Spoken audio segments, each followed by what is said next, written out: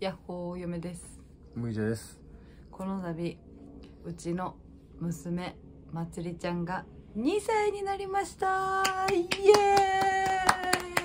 ーイ！11月11日で2歳になりましたまー、ちゃんが。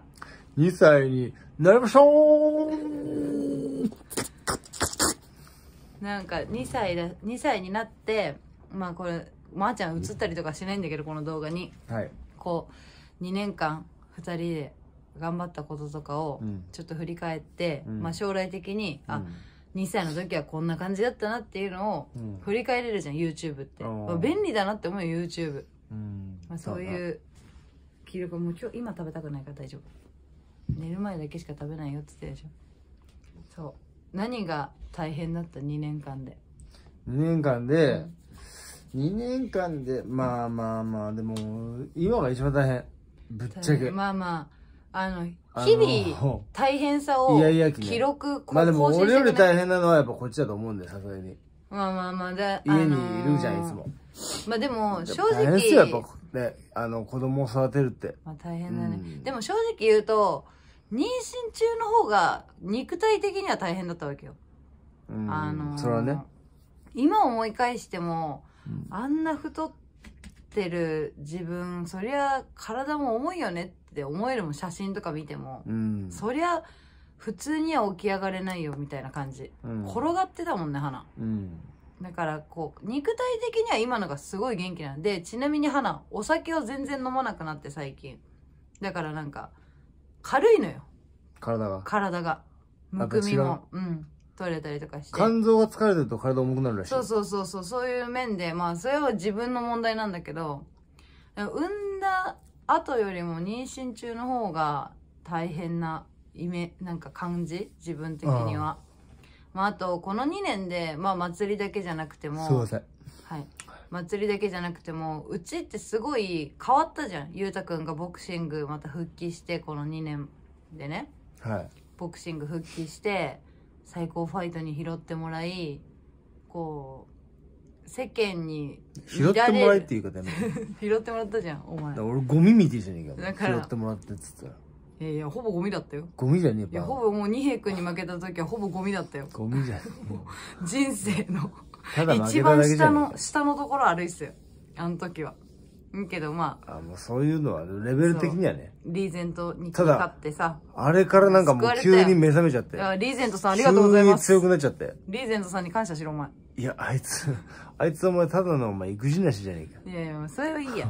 まあいいけど、ま育児なしに感謝あ、いや、いろいろね、変わったんですよ。ほんと、外とか一緒に歩いてるとね、こういこの人と歩いてると声かけられたりとか。こいこいつスーパーで声一かけられる人で歩いててもあれ麦茶の嫁じゃねって噂されるみ言われたいですよ。たり、だからそういう面でもやっぱり見られ方が変わって人からの、なんか友達からの見られ方もちょっと若干変わってるところもあったり、まあほんといろいろ変わったのこの2年で。ねえ、まあいい風にも悪い風にも変わってるとこあんのかわかんないけど。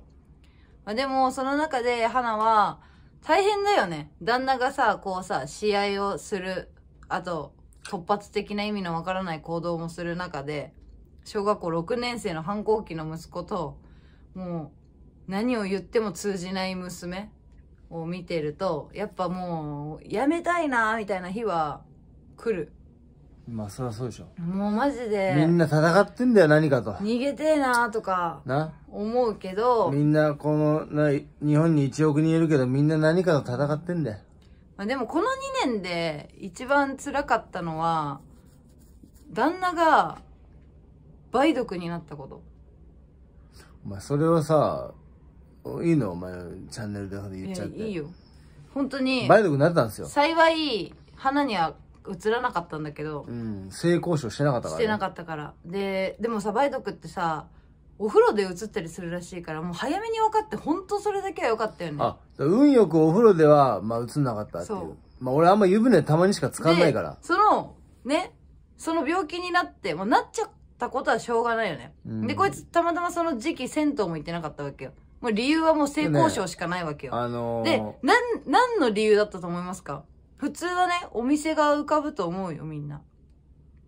違うんね何？たまたまナンパしたことをやったら映ったからあ、それでこいつのの被害妄想。だかだからら俺は、そのあの、後悔ないんですよ。いや後悔しろよあそれは、の、いや、もう普通に、運悪くなっただけで、運ゲーなんですよ。もうロシアンルーレットなんですよ。だから世の中のみんな頑張ってるパパ、ね。あいの、お小遣いでいるのか知らない自分の稼いだ給料でね、そう、お店に行って、あのーやっぱ人生一回だから、そういうのも大事なんですよ。そそれが他の女の人と普通に一般の女性とやっちゃうと浮気になっちゃうんで、またそれ浮気がバレると金の問題とかになるじゃないですか。だからお店に行くべきなのにお前はお店じゃなくてナンパって言ってたじゃんで、俺も、やっぱりあの、生きてる以上は、これごめんなさい、これ嫁のチャンネルで言うけど、俺は、あの、1万人は生きたい、経験人数。いや、本当に、いや、人生1回なわけよ。そんな、じゃあ何十人とかでで終わっていいの？終5000人行きたい。